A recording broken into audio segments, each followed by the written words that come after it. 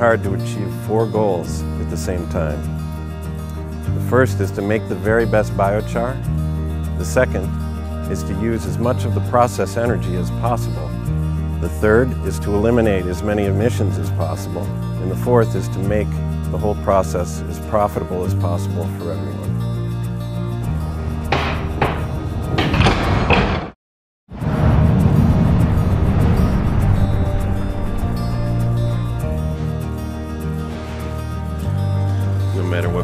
What biomass we put in, we get out carbon.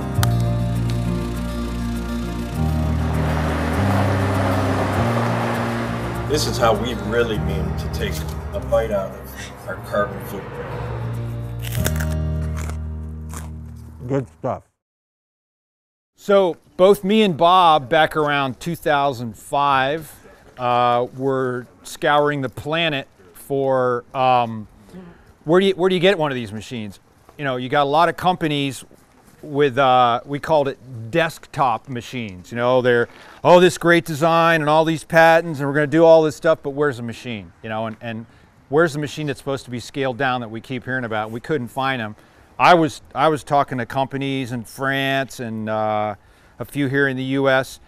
And Bob, at a certain point, got tired of looking for machines and decided to go build his. And uh, where he is on Cape Cod, it's it's very high-end property all around him. He's he's a little farm, kind of closed in, so he can't have smoke, or some neighbors will be showing up. He wanted to burn as clean as possible, you know, uh, the least amount of heat loss, and the least amount of smoke going into the air. And so when I when I met Bob and he had just built his uh, his machine, which was about one third of one of these, basically one retort, one gasifier. Uh, I was I was real impressed to see that he had a condenser already because he was like, you can't have smoke you know, bothering the neighbors. So he was like, let's start condensing these things. The last bit of smoke gets condensed. We're burning probably as clean or cleaner than propane the way we're doing it. And that's because we pull these condens- condensables out. And maybe you could tell a little bit about your design, how you came to this size condenser. Kept trying, I guess. It started out, we were doing the single batch retort like Jon was describing, and uh, I had actually sold one to my first customer, and there was a big demonstration to come and see it, and it was putting out of the stack. In the first portion of the burn, you put out the steam. You're driving off the water. And so there's this big cloud coming out of the stack and that big cloud has a little bit of smoke in it. So this huge cloud's coming out of the stack, and we're telling everybody, don't worry about that, that's just steam. And then the cloud sort of drifts down over the crowd, and everybody runs because you don't want to stand in it, and it smells like smoke and it looks like smoke. And I realized at that point it doesn't matter that it's 99% steam. It looks like smoke, it smells like smoke. Nobody's going to want it in their neighborhood. They're not going to let you get away with it. So I went home after that demonstration and figured I, I know I can build a condenser. Uh, so I took a couple of drums and built some manifolds, encased it all in a couple more drums, and uh, silver soldered the whole thing together. Stuck it on my experimental retort at home, which we call the Mule, which is basically one of those units that's been torn apart and put back together a dozen times by now. And uh, we fired it up, and I couldn't believe how well it worked. It, it really surprised me. I figured I was going to have to build that condenser over and over and over to get the to get the specs right, but I, I guessed right the first time on that one, and it's almost identical to the size and shape of the one that we're using here. And it works really well. It takes the gases that are coming out of that retort and cools them by running them across a gazillion tubes inside of that shiny can back there. And as it does that, they cool off and that all condenses and drips down to the bottom, runs off into a, a line on the bottom, which runs through the building off into these totes down here. So we don't even have to use a pump was the was the challenge. That's why we built it below ground. Um, trying to pump those liquids can be a challenge. As you can see by the heaviest fraction, that's actually liquid. that's the tar that ends up on the bottom when we separate out the condensate. So it goes into these totes. We leave it for about three months sitting, at least three months, and it separates out into this on the bottom, which we can use for paving. We can actually make carbon negative driveways for everybody if we get enough of this. We don't have enough yet. We're getting there. Then we get the uh, the middle coming up from the bottom. That's the heavy stuff. The middle is the um, liquid smoke, which is a little bit lighter. This is actually pretty thick. Usually it looks sort of like beer. You can see through it. Um, we call it wood vinegar. That has an enormous number of uses, which are too many to even go into right now, but if people are interested, we can talk more about that later. And then the, uh, the light oil, which sits on top, which is what's burning in this lamp, just to show you how easily we can burn that and how clean it burns. That's practically a diesel quality oil coming at that point. Or I wouldn't at all hesitate to run that through a, um, a house oil burner. We don't get very much of that. It's a very small layer on top, but those are the fractions that we're coming up with.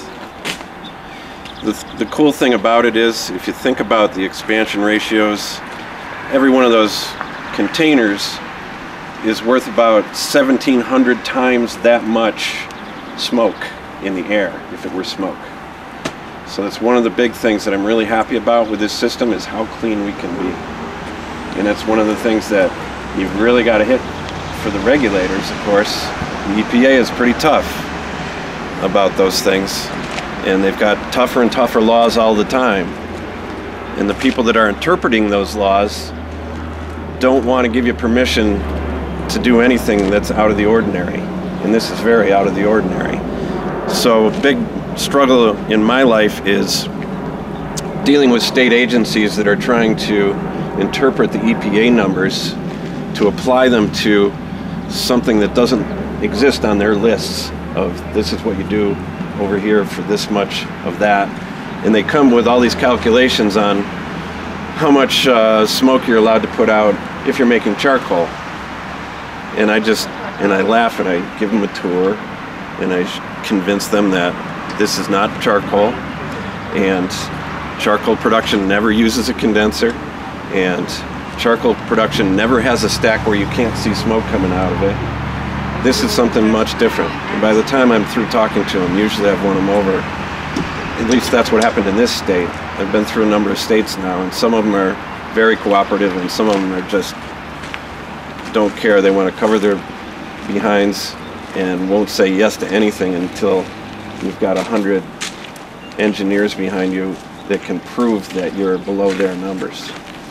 So the particulates, the um, there's a whole string of of compounds that we're not allowed to put out in a certain quantity. I designed this system to stay right underneath the regulatory levels of how much heat it can produce before you have to go to an, another big step of regulation. So we're right under that ceiling, which uh, saves me a lot of time in red tape, which would have made this another year-long process to put this place together if we just made a little bit more energy than we do now. Um, what else do I need to cover, guys? What's that machine? What's that machine? This, this is the unloader. If you didn't see that before, and we've got it open like the one on the end there. We roll this over right next to it, and there's a big hose right over there. This is nothing but a giant vacuum cleaner. And somebody hops inside with the end of the hose and sucks up all the char. The char comes flying up the hose, goes in here, hits this impeller, which breaks it up as it's going through. It also goes past little water nozzles here, so we're, we're getting it wet. That's to keep the dust down mostly. but also to avoid any um, danger of explosion. Char dust can explode. You get a fine dust of anything, and blow it into the air, and then ignite it, and it turns into an explosion. Yep. So Abraham's showing us the. That's what it comes out like. After it hits that impeller, it goes from what you see in that box over there when we add water to this. Now, depending on what products we're making, we'll take it from that step to um, the trommel there. We can we can divide it up into different particle sizes if we've got different products that require that, which we do. Uh, some people want big chunks. Some people only want little chunks. If we're feeding it to chickens, we want them about that size. If we're using it for certain filters, um, biofilters and stuff, we want, the bigger chunks. Um, if we're using it for tree mixes, we want them all. So we want that whole mixture. We don't need to necessarily separate it out. Um, from that point, we've got a mixer. We'll put in our other ingredients, our compost, worm castings, um, rock powders, whatever else we want to add to that particular product. That mixes it all up and then augers it over into the yellow machine over there, which is the, the bagging machine. So, um, again, depending on the product, it goes through all these different steps with different ingredients, gets bagged in a different bag, or in some cases, we'll put it back to bulk bags if somebody's buying large quantities. Do Yes. anything in your process to open up the channels and increase the surface area of the char at all to increase uh, the, the uh, just the surface area for the microbial content and all the stuff that you're putting in it uh, to increase that? Well, our first goal is to make the best biochar that we can make.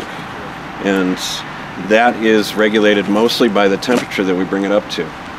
But also the rate at which we bring that up is important. Okay, so we're we're heating at a low, slow, steady rate and bringing it up, giving it lots of time to get those volatiles out and open up those pores. And we take it up to a very specific temperature. That's that's part of our our standard operating procedures is it has to get to a certain temperature. If it doesn't get to that temperature, using its own gas, we'll actually turn the gasifiers back on and keep heating it until it gets up there. But again, one of the beauties of this particular system is it's balanced out really well so that as the stuff runs out of gas, as it runs out of volatiles, is right the point where it's hitting that 850 degrees Fahrenheit is our is our mark. So it has to be between 850 and 900 somewhere in there to to qualify to go into the bag. If it doesn't, then we keep pushing it until it does. And that's that's really a spec I've come up with by studying over the years the the um, there's some conflicting information out there about what makes the best biochar. And what I have found is that there's there's a point where well when you're making biochar what you want is amorphous carbon in the end. And you heat the stuff up and get all the volatiles out, you've basically got amorphous carbon, which you know on a microscopic level it's like it looks like a pile of dirt. It's a pile of fractions of pieces. It's like a pile of broken glass, black glass. If you keep heating it beyond that point, you start taking it up, say you get it up to uh, uh, 1,000, 1,200 degrees Fahrenheit, what happens to that carbon starts crystallizing and all those fragments start connecting to each other as you're adding more energy. And then if you add more energy, the fragments flatten out into sheets. They start to lay on top of each other and become graphite at that point. Now you've you've lost all those spaces that you want. You've lost that surface area. Eventually, you you actually can get better adsorption at a higher temperature, but it doesn't work as well for the microbes at the higher temperatures. So there's kind of a sweet spot that we've identified where we've got almost all the volatiles out, but we haven't gone so high that it's starting to collapse in on itself, and that's really what I believe is the best. after studying it for 10 years with all my might and experimenting in my garden, in my farm, and getting all my other friends to experiment on their farms and doing professional field trials with universities and right up the line, you know, we've, we've refined what we believe is the best. I'm always open to hearing somebody tell me they found something else and refining that knowledge further. I'm not the I'm not the end all on this stuff. I know a lot, but there's a whole lot I don't know. But you, you did you did design the system, right? Yes, I designed and manufactured the system. Was there a model that you used to, to or this is like an original creation? Well, the original model was the Adam retort, which is a a masonry retort that is built in Africa out of mud bricks and it uses a single sheet of steel on the bottom for the heat exchange. And Christopher Adam was the engineer who created that, and he did it because he wanted to um, eliminate a lot of the pollution that people were standing around him and breathing all the time when they were making charcoal. This was charcoal fuel back then. He wasn't into biochar at that point. So, a business partner and, and myself in New England bought the plans for his simple system, translated it into building it in steel, partly because we wanted to drag it around on a trailer and show it to people. And um, it's sort of evolved since then. We, I've been trying to refine it further and further, make it more efficient, make it more more safety built into it, um, mostly more efficient. And by having the three, it, it really steps up the efficiency quite a bit. So uh, what Bob was talking about is a good segue into the applications. That's that's one of the uh, kind of expertises of this company is the applications of the biochar. And I was going to go down and just show you some posters. There's a lot of stuff in the literature. Uh, I would say that uh, I still think there's there's a little too much hype in some places. The hype is running ahead of the actual trials. I got into it because it's the greatest carrier there is to, to provide concentrated biology to plants and to help them work more efficiently. So one of the test methods is the plants themselves, you know, to, to see what the, uh, This is the final test. this is the final test. I mean, if they approve, we're good to go. If, if they tell us no, well, we got to go back to the drawing board. So I wanted to go over here to the wall where I got some of the stuff that's specific to what we did. There's a lot of people talking in generalities about biochar, but I wanted to show you some of the stuff that we've done specifically with our products, and some of it happened on Bob's farm last summer. So I think that's our next stage we'll go to.